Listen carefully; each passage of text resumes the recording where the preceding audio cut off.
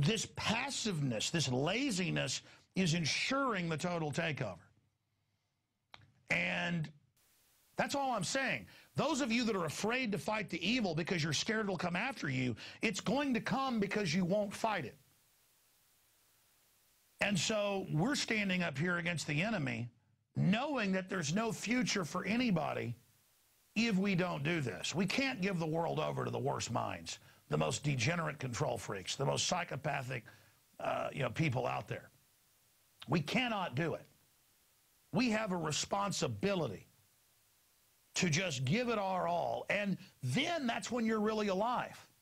The corruption that's manifesting is the nastiest form of ultra-authoritarian evil that has ever existed. I mean, it's, it's right out of the mind of the devil stuff. I mean, if you don't believe in the devil, that's your issue. This might as well be the devil. The devil's real. Whether you believe it's a spiritual entity or not, humans together are manifesting a spirit that is right out of the worst stuff in the Bible. The most important thing we can do is recognize wholesomeness and recognize beauty and recognize the beauty of the sound of the sea.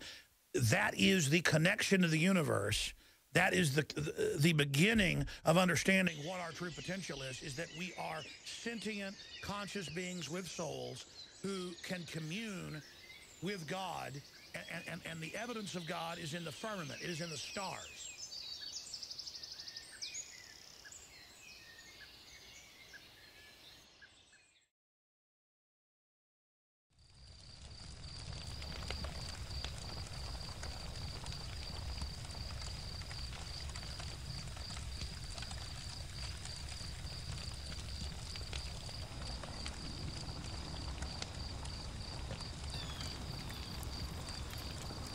My buddy, he was prepared from the start, ready. He'd always warn me about this. He'd say, why don't you read this? Look at that. Or listen to this. And then things just started happening. No one seemed to care. Then when they finally came, everybody just herded up like sheep.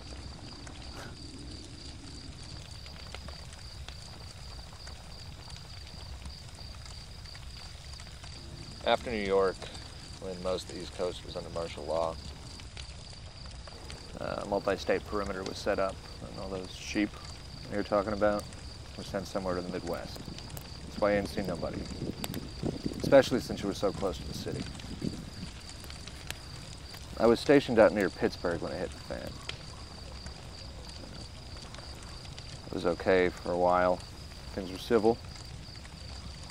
And the higher up started taking orders from offshore or somewhere other than where it should. So maybe a couple months, I decided I'd flee my unit, get lost. I realized my part there. Everything I once believed slowly left. Nothing seemed, you know, morally acceptable anymore. Well, to me, at least. Certain orders we were given, missions, didn't make the slightest bit of sense. So, early, one early morning, packed up my gear and did what I knew needed to be done. At this point, why not take a different path? Maybe it'll end up a little bit better. I mean, I'm confident they're not after me. I mean, what would be the point after all that's unfolded? So I headed east. I walked.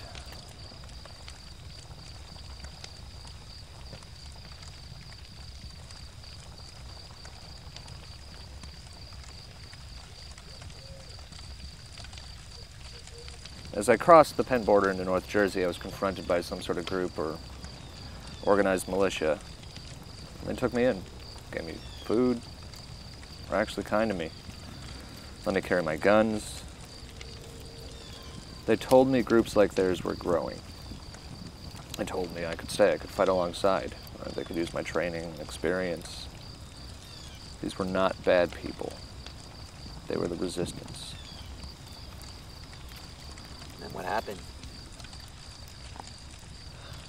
Uh, it could only been a couple days. They wanted to explore up ahead out east. But I knew where they were headed. I knew what was there. It was a death trap. And I made sure I had my word in on this. Whether they believe me or not, they didn't care. So they went off. So I left. Told them I had my own loved ones to seek out, places to go. And they didn't care in the slightest. I still think about their fate, what happened to them.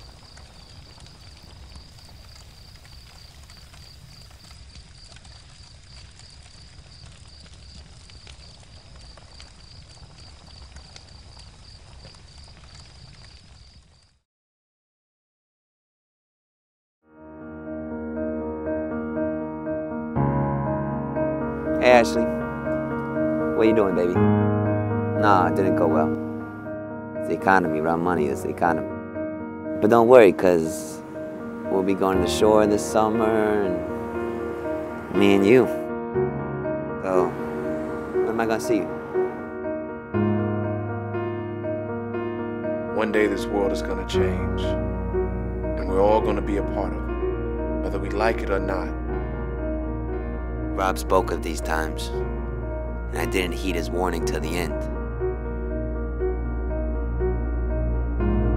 And things just started happening. No one seemed to care. Then when they finally came, everybody just herded up like sheep.